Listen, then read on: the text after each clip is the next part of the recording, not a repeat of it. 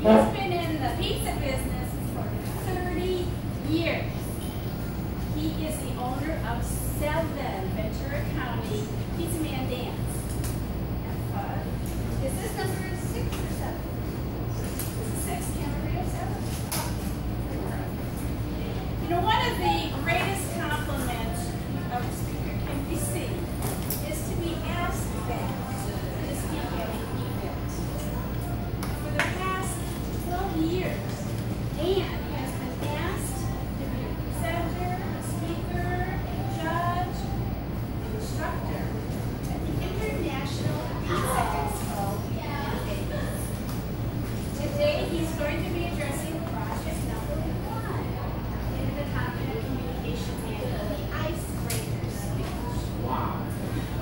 With a entitled, Are You the Pizza Man? Please welcome Advanced Communicator Silver, Dan Collier.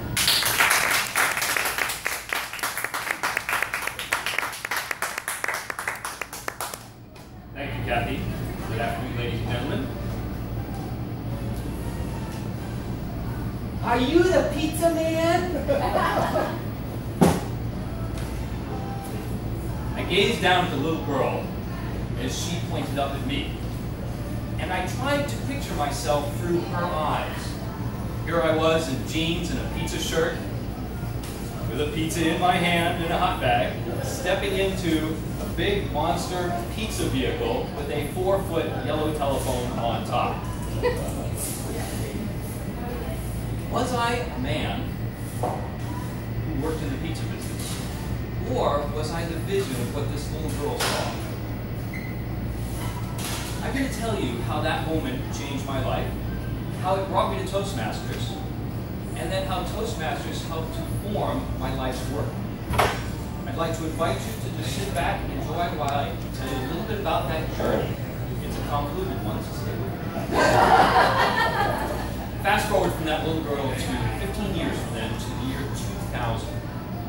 Year 2000, I was president for a company called Rusty's Pizza out of Santa Barbara. We had 20 restaurants, and I brought my entire management team to Las Vegas to the International Pizza Expo. And we were there to learn as much as possible. We attended every seminar we possibly could. And I have to tell you that the Pizza Expo hired consultants to come in and teach us pizzeria owners and operators how to be good small business us those skills. But these consultants were not Toastmasters. In fact, after two days, it was so difficult to listen to them present with the ahs, ums, and ers rather than pauses, literally reading the PowerPoint slides to us for an hour and a half. No humor, no personal stories. People were falling asleep in the room. In fact, one of the best compliments I ever received, towards the end of the second day, my team turned around and looked at me and they said, Dan, even you could do better. On the final day of the Pizza Expo, everything changed. We saw a presenter. This man was polished. He was funny. He kept everybody engaged. He learned. And we were enjoying the ride. About three quarters of the way through his presentation, he said, by a show of hands, this is a room of well over a thousand people. By a show of hands, how many in this room are Toastmasters? Not a hand went up, man. Over a thousand people, leaders in the pizza industry, not a hand went up. He said, shame on you. You are the future of the pizza business. You're coming to the Pizza Expo demonstrates you're, you're part of the top 5% of the people who care enough to learn more and excel in your business, and you are missing the most important thing you can do. You're in the business of return on investment, and there is no better return on investment than your membership in Toastmasters.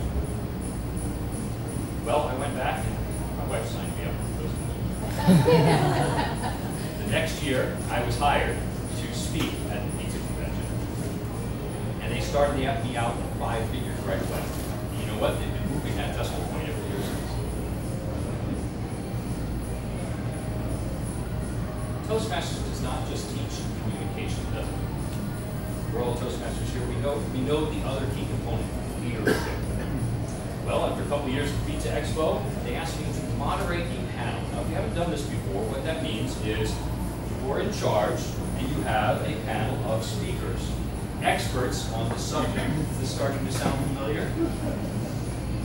And as I was preparing for this, I discovered that it was exactly like preparing for a Toastmasters meeting. At the end of my first ever panel session, I was approached by a gentleman. he said, excuse me, but I, I have to let you know something. I'm a professional moderator. My clients include Fortune 500 companies. I've been coming to Pizza Expo for years. Tell you, I have never seen someone do it. That's quite a compliment. Here's what I discovered. I discovered that a moderator is not the center of attention. The speakers are. I discovered that the moderator controls the show by fielding questions. He controls what's going on. And I discovered that the moderator introduces the panelists and set, sets them up as experts. Sound familiar? That's exactly. Now I am the number one moderator at the Pizza Expo. Anyone who moderates panel sessions, they're required to be trained by me. All because of Toastmasters. And they, they start out, what do I need to do in order to be successful at this? I say, sure enough. Toastmasters has also opened doors for me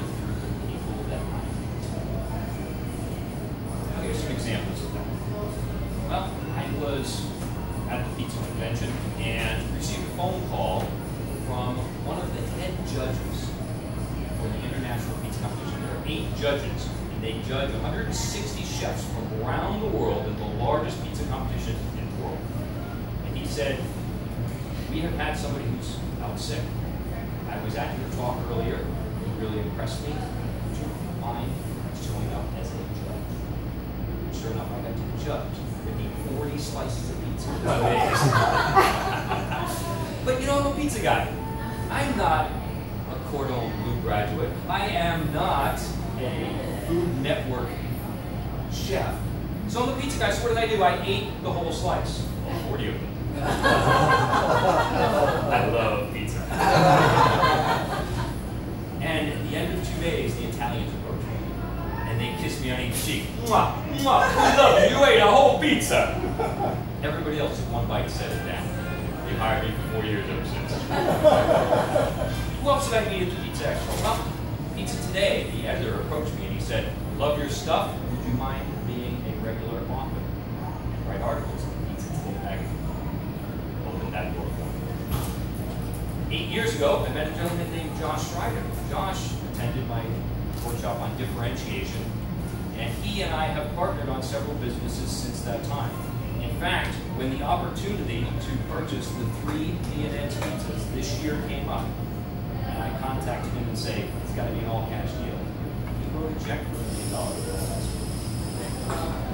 That's the type of doors that Toastmasters has opened. Communication leads to the ability to speak before the public. Leadership, to control and organize, not just at Pizza Expo, day to day in my, in my business, leading 160 employees. And finally, a combination of those things have allowed me to pursue my passion in the pizza business. Now, why am I saying this to you? You're all Toastmasters. You know this. I'm speaking as a choir, am I not? I'll tell you what. Some of you are not members of the Toastmasters. Some of you should consider doing just that. Taking your Toastmaster skills to the next level. Surrounding yourself with excellence, as I believe that I have done in 20 years. I encourage you to do so. You remember that little girl? I certainly do. And I think by now, you know the reply that I gave to her. Yes, I am. Pizza. And Toastmasters.